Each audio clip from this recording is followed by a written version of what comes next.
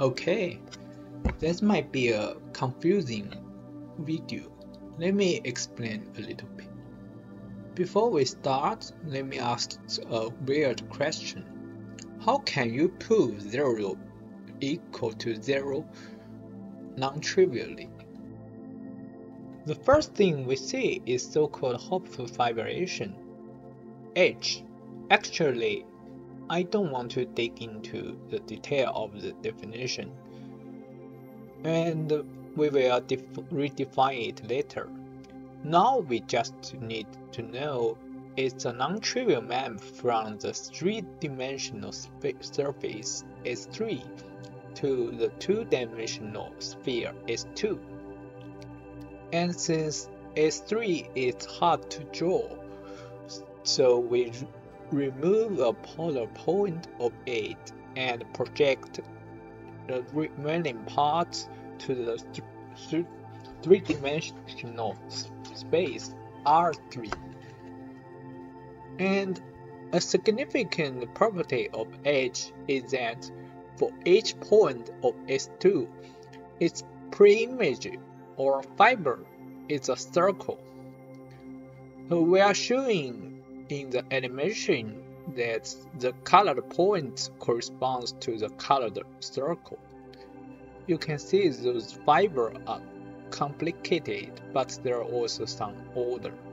That's why people so called usually call it Hopf fibration. It's quite beautiful picture. Now we project another S2 to the plane and insert it in R3. If we compose H to this plane, we will get its image on the original S2. Notice that there are some circles intersect with this plane twice. So the image actually has two layers. The inner layer with blue, the outer layer with red and green. Okay, now if we move the plane from down to up, this image keeps changing. The more circles the plane intersect, the image cover the sphere more. Then the image warps the whole sphere.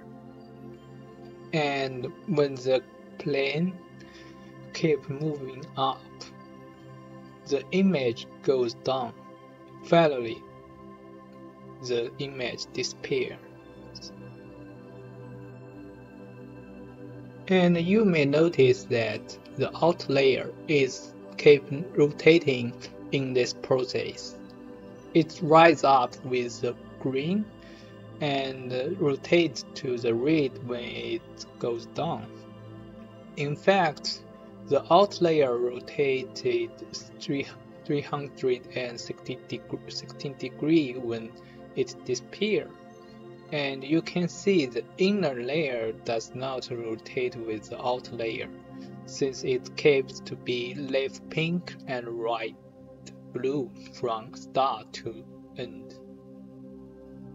For those people who know homotopic groups, what we did actually is transform the H into a homotopy from zero map to itself by the adjunction between suspension and looping.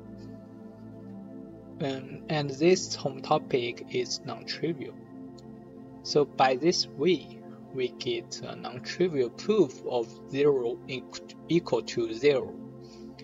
Moreover, we can get the feeling that this H is a generator of the pi 3 of S2 by this rotating of the outer layer.